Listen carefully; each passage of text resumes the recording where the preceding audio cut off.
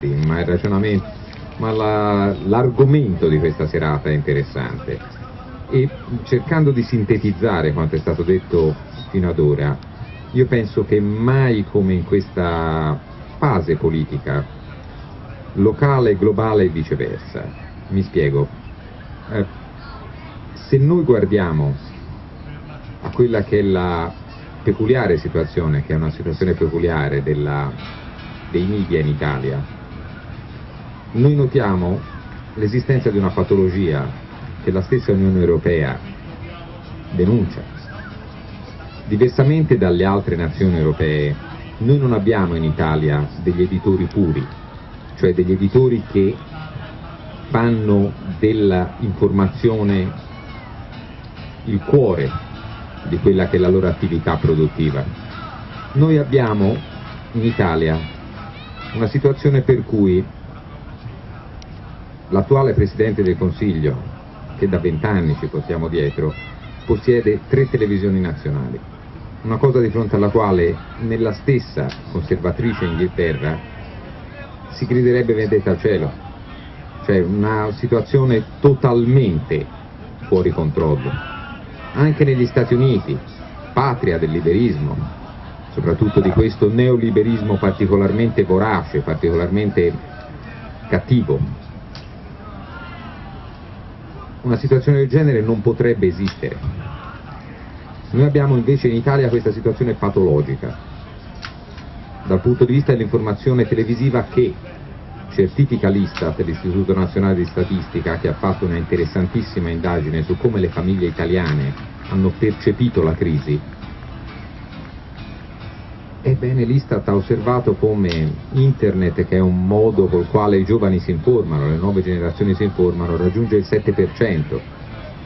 stampa e radio raggiungono assieme il 7%,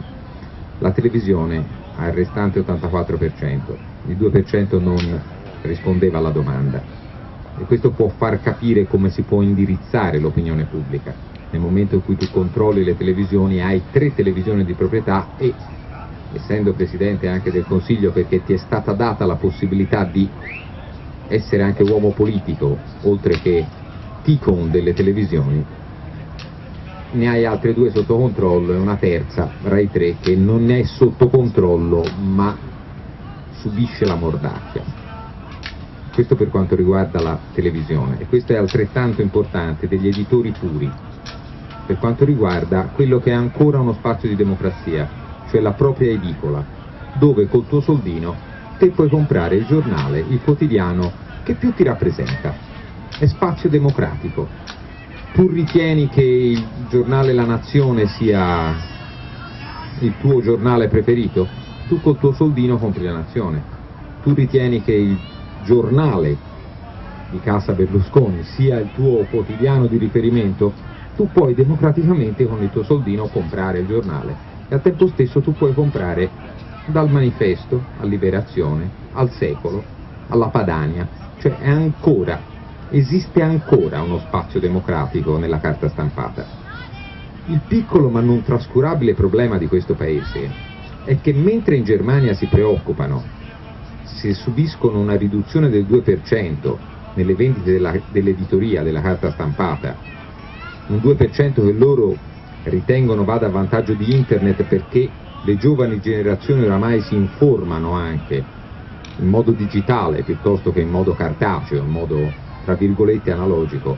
ma vendono 25 milioni di copie quotidianamente, noi in Italia da 30 anni continuiamo a vendere dai 6, nella migliore delle ipotesi, alle 5 milioni e mezzo di copie, cioè vendiamo il 20% in Italia con 60 milioni di abitanti di quanto vende la Germania che ha sì 100 milioni di abitanti, ma vende 25 milioni di copie quotidiane. Questo per chi si interessa di media, per chi si interessa anche del rapporto che c'è tra la diffusione dell'informazione e il livello di civiltà di un paese, segnala che purtroppo noi italiani siamo in piena zona di retrocessione in Europa, così come lo eravamo 30 anni fa, quando ero giovane studente a scienze politiche la percentuale era la stessa. Abbiamo continuato a vendere poco, quindi il nostro, il popolo italiano che pure ha caratteristiche di inventiva, caratteristiche anche di genialità e anche caratteristiche di capacità di rimboccarsi le maniche,